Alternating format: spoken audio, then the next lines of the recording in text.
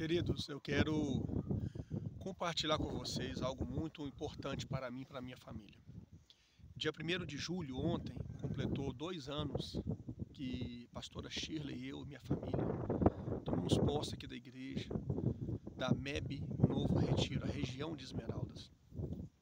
Nesses dois anos, só tenho que agradecer a Deus pela vida do apóstolo Josué, da pastora Aurora, pela vida de todos que têm se empenhado em nos ajudar, pessoas que têm tido carinho comigo e com a minha família.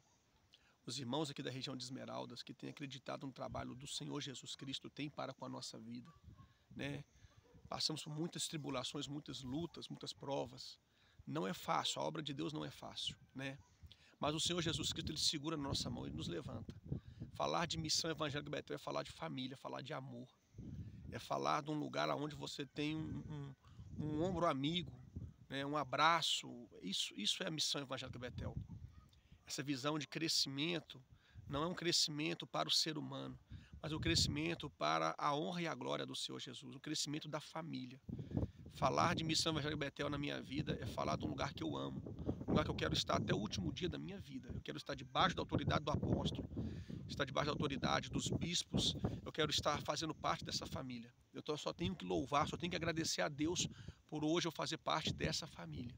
Dois anos nós estamos aqui e o Senhor Jesus Cristo tem nos honrado, Ele tem suprido nossas necessidades, Ele tem nos dado sabedoria, estratégia, tem enchido nosso coração de amor para fazer a obra dele.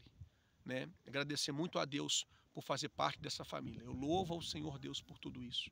Eu quero dizer que aonde esse vídeo chegar, você que estiver procurando um ministério, você que estiver sentindo uma solidão, eu quero combinar, convidar você para você vir Vim conhecer a missão Evangélica Betel, um lugar onde o Senhor Jesus Cristo ele tem muito para fazer, um lugar onde o Senhor Jesus Cristo tem muito para realizar ainda.